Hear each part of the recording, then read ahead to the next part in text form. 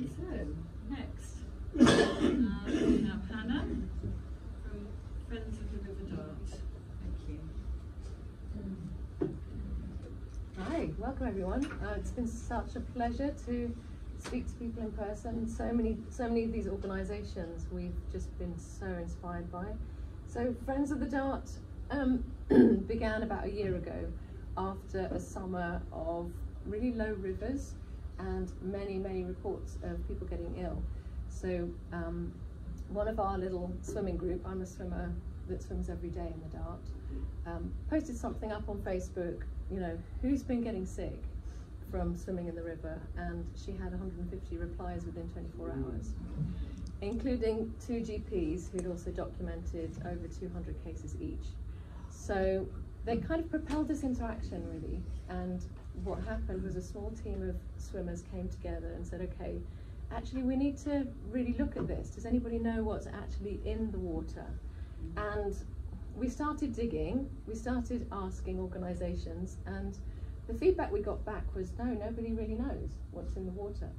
So, and we learnt about all these different projects that are beginning to find out and it seems like we kind of popped up at exactly the right time where other organisations are really engaged with making that data available, um, you know, testing the water thoroughly.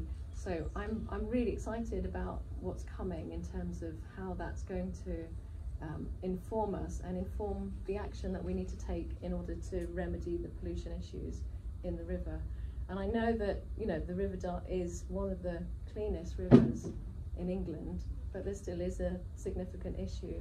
Um, so for the Dart, for, for Friends of the Dart, it's not just about um, it's not just about swimmers. So what happened then is we set up a Facebook group, um, actually initially to support the Dart Charter that Jane mentioned, um, and it just grew exponentially, and we're now up to around 800 members with you know five ten people joining every day as people hear of it.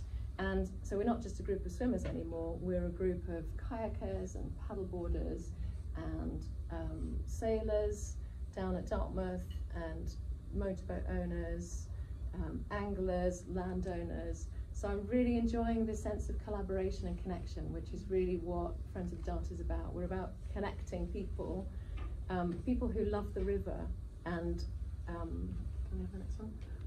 Um, and um, yeah, our inspiration really is about connection and collaboration and somehow being a bridge and an interim between organizations that are doing, doing amazing work and yet we had no idea about them until we really started looking at the detail.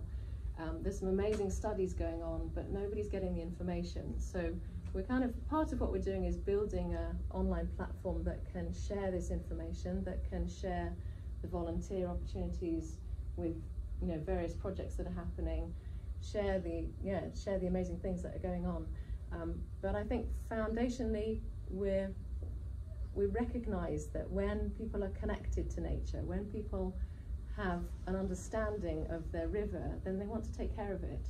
Um, so one of our first projects is um, we want to, we're just at the point of looking at getting funding and we want to do a series of um, in-person talks with experts.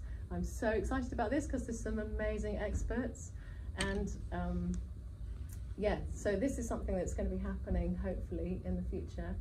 Um, other things that we're really interested in doing is, as I've said, putting putting organisations in touch with volunteers.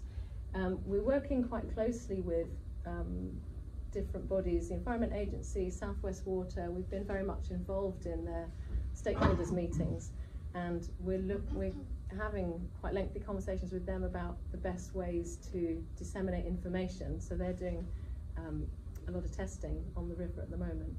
Um, so we want to have that data available and in a format that's really accessible, that really gives you the information that you need to assess whether you're going in the water that day, whether it's safe to go in the water, um, but also to raise awareness of the, the river and the ecology around the river, um, how it's affecting the, the animals and the plants and what we can do about that, what we can begin to do about that. We're, we, you know, we're very much learning as we go and collaborating with a lot of different experts. Um, one of the projects, another project I'm really excited about is um, a collaboration with Ex Exeter University and Elitza here, who is um, studying anti antibiotic resistant bacteria. So we're going to be working with the FOD team in studying swimmers and studying the water in a really comprehensive way. So yeah, that's that's really exciting.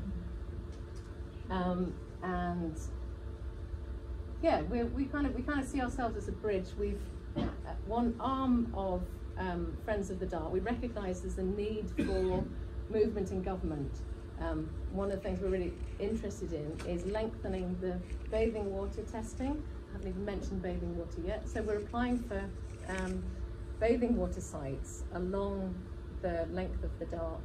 Currently looking at six or seven different sites. Um, two of them are really quite well progressed.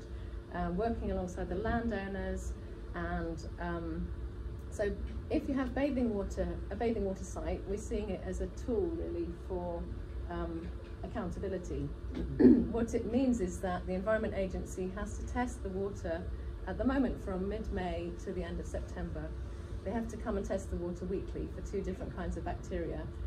So alongside our bathing water designation applications, we're asking through um, through our MP, who hasn't yet taken action on it, we would really like you to go ahead and ask your MP too. We'd like to lengthen that period from uh, three months uh, to a whole year of testing for bathing sites. I mean, I certainly, I swim every day throughout the year.